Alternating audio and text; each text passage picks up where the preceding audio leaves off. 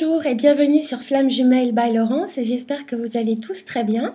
Dans le podcast d'aujourd'hui, nous allons parler de la très jolie histoire des flammes jumelles et un petit peu le but de ce lien et ce qui va nous faire vivre. L'origine des flammes jumelles est l'œuf cosmique qui se scinde en deux pour incarner deux êtres bien distincts qui possèdent l'un l'énergie yang et l'autre l'énergie yin, donc le masculin et le féminin.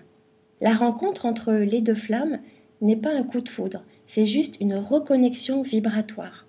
De nombreuses religions et peuples parlent des flammes jumelles. Dans la religion hindouisme, il s'agit de, par exemple, Krishna et Radha, les divinités hindoues. Dans la religion catholique, certains parlent d'Adam et Ève, qui sont à l'origine des flammes jumelles. Dieu divise le corps d'Adam avec la côte pour créer Ève. Il divise donc un être en deux corps distincts. Dans la culture chinoise, les flammes jumelles sont illustrées par le fil rouge du destin, attaché entre deux âmes, qui peut s'étirer, s'emmêler, mais il ne cassera jamais. Dans la Kabbale également, le lien de flammes jumelles est mentionné, et dans beaucoup d'autres religions.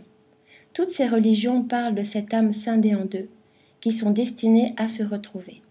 Pourquoi beaucoup de flammes jumelles sont-elles destinées à se retrouver dans cette vie? Certains vont parler de tendance New Age, eh bien, sachez-le, beaucoup de flammes jumelles ont décidé de se réunir dans cette vie pour élever le taux vibratoire de la Terre. Nous sommes à une bascule, l'homme doit s'éveiller à la conscience, à la spiritualité. Les flammes jumelles font partie des travailleurs de la lumière, comme les âmes éveillées, les enfants indigo, les enfants cristal, etc. Nous sommes tous là pour éveiller les consciences et diffuser l'amour. Après cette séparation, les deux êtres vont s'incarner avec la blessure originelle de l'abandon pour le chaser, qui à la séparation se sent abandonné par sa moitié, et pour le runner, qui lui aura la blessure du rejet en se sentant rejeté par son autre, réaction différemment vécue au moment de la séparation originelle, selon les énergies des deux moitiés. Nous allons donc suivre un chemin d'évolution individuelle dans la matière à travers différentes incarnations terrestres pour travailler sur notre complétude à travers différentes vies où nous allons individuellement expérimenter des obstacles et les fameuses cinq blessures de l'âme. Nous avons tous notre flamme jumelle. L'âme séparée représente deux êtres bien distincts avec son identité, son genre, etc. Pendant les différentes incarnations, les flammes jumelles décident, avant leur réincarnation, de vivre leur chemin séparées, elles ne se rencontrent pas à la même époque, et au bout de plusieurs incarnations, elles décident enfin, lorsqu'elles pensent qu'elles sont prêtes à le faire, à se retrouver dans une vie pour réussir à se réunir à travers un parcours comportant des étapes que vous connaissez bien maintenant et des obstacles bien précis pour atteindre la complétude. Lorsque nous arrivons sur Terre et que nous devons rencontrer notre flamme jumelle, nous allons choisir une famille dans laquelle s'incarner chacun de notre côté pour réactiver les blessures que nous devons travailler avant notre rencontre, qui nous restent dans notre parcours individuel. Lorsque nous sommes sur cette terre pour rencontrer notre flamme jumelle, vous pouvez avoir un indice parce que très tôt, nous allons ressentir qu'il nous manque quelque chose. On se sent incomplet ou incomplète, souvent décalé. Nous aurons une quête d'amour absolue. Nous rencontrons des difficultés à nous fixer avec d'autres âmes, et lorsque nous le faisons, nous nous rendons compte qu'il manque quelque chose. Votre flamme jumelle n'est peut-être pas dans cette incarnation. Alors pourquoi tout le monde ne rencontre pas sa flamme jumelle dans cette vie présente? Tout simplement parce que nous ne l'avons pas décidé avant notre incarnation, parce que nous ne sommes pas prêts et que nous avons chacun de notre côté des choses à vivre, et que nous n'avons donc pas passé ce contrat d'âme dans cette vie-ci. Nous choisissons individuellement nos vies, quoi qu'il arrive. Nous allons nous croiser dans cette incarnation parce que nous l'avons décidé.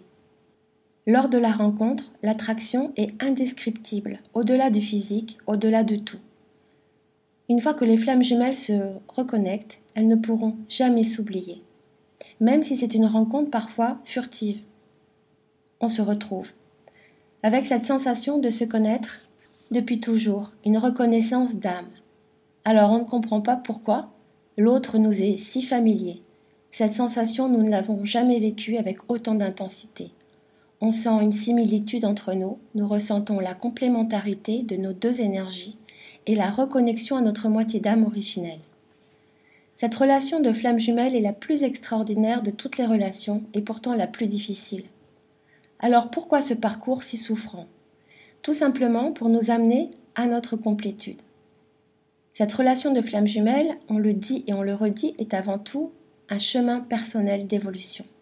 Nous allons donc faire ressortir les blessures de l'autre.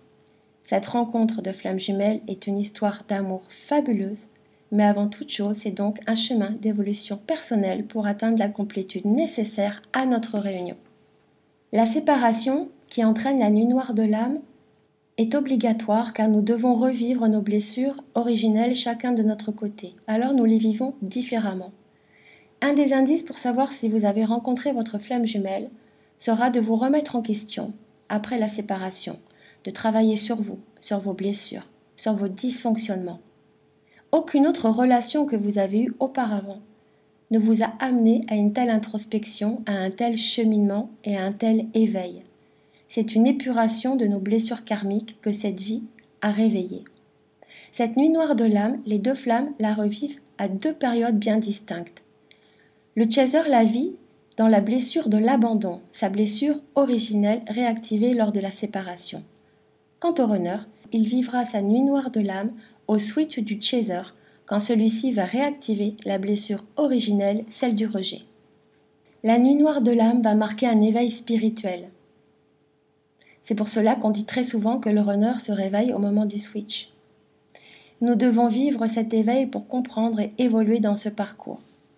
C'est le chaser très souvent l'éveillé au lien en premier. C'est donc lui qui va commencer à évoluer et à travailler sur le lien.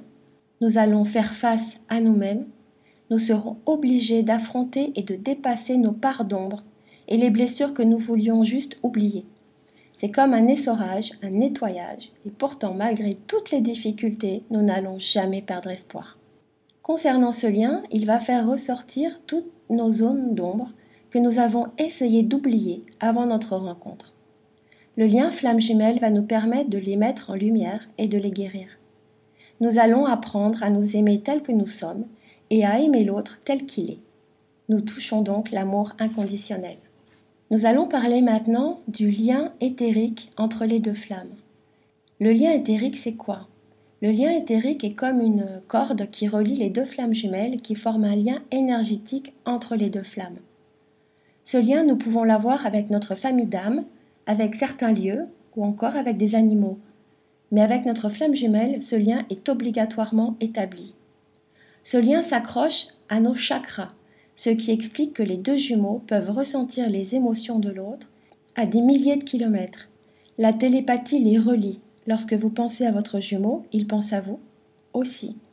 Tout ce que vous ressentez, il le ressent. Et c'est pour cela que dans le lien, quand euh, on dit qu'il faut travailler euh, lors de la séparation et que les chasers me demandent mais comment mon jumeau va savoir, il le saura grâce à ce lien. Grâce à ce lien, votre runner ressent votre évolution à distance et il reviendra lorsque vous aurez progressé sur vos blessures. Sachez que nous sommes reliés. Certains liens éthériques peuvent être coupés, sauf dans le lien éthérique des flammes jumelles, qui est indestructible. Donc j'ai parfois des personnes qui m'envoient des mails pour couper le lien avec leurs jumeaux. Si vraiment il s'agit de votre flamme jumelle, ce sera impossible, sachez-le. Vous pouvez le ressentir, ce lien, faire des rêves où vos âmes pendant votre sommeil se rejoignent pour faire l'amour par exemple. Vous vous réveillez le matin et vous avez l'impression que réel, physique, que vous avez fait l'amour avec votre jumeau toute la nuit. Vous pouvez le sentir heureux ou encore angoissé, malheureux. Et ces sensations que vous ressentez vous surprennent parce qu'elles vous envahissent, mais toutes ces émotions ne vous appartiennent pas. Donc si vous vivez ces situations, vous avez votre réponse. Nous allons parler également des âmes sœurs que nous pouvons rencontrer pendant le parcours, parce que j'ai aussi beaucoup de questionnements euh, sur les mails que je reçois. Alors les âmes sœurs pendant le parcours. Ces rencontres avec ces âmes sœurs sont fréquentes, surtout du côté du chaser. Le contrat d'âme a été passé avant l'incarnation. Donc nous savons en venant que nous allons faire face à ce parcours de flamme jumelle et que nous allons rencontrer notre flamme jumelle. Et très souvent, C'est une âme sœur que nous avons choisie et qui a accepté sa mission auprès de nous, qui va venir nous soutenir dans le parcours, souvent à une période difficile. Je tenais à mentionner ce sujet car beaucoup de questions sur des personnes qui rencontrent une âme sœur et qui ne savent pas si elles peuvent aller avec cette âme sœur ou non. Eh bien, faites comme vous le sentez. Fiez-vous à votre intuition. Si cette âme sœur est sur votre route, c'est pour une bonne raison. Nul ne peut séparer les flammes jumelles et leur mission d'âme. C'est une union créée et sacrée par la source. Rien sur ce monde terrestre ne pourra les séparer, malgré les obstacles, malgré le fait que votre jumeau soit marié, soit pris, soit à des milliers de kilomètres de vous, et une religion différente de la vôtre. Tous ces obstacles, nous allons les dépasser. J'espère que ce podcast vous aura aidé à comprendre la magie de ce lien. Si vous souhaitez avoir une confirmation du lien de flamme jumelle, vous pouvez m'écrire et me commander votre synastrie karmique. En astrologie, les marqueurs de flammes jumelles sont marqués dans le thème de naissance des deux flammes. Voilà, j'espère que ce podcast vous aura plu et aura répondu à certaines de vos questions et surtout vous aura réveillé cette magie du lien qu'on a tendance un petit peu à oublier tellement ce parcours est difficile. Je vous dis au revoir, je vous envoie euh, plein de belles énergies et de lumière pour votre parcours. L'amour gagne toujours, ne l'oubliez pas. Le lien de flamme jumelle, c'est un lien sacré. Et la source nous protège. À très bientôt. Si vous le souhaitez, vous pouvez vous abonner à ma chaîne pour la faire vivre. Euh, comme ça, vous serez prévenu si euh, je fais de nouveaux podcasts. Je vous remercie tous de votre fidélité, de vos mails, de votre confiance. À très bientôt. Au revoir.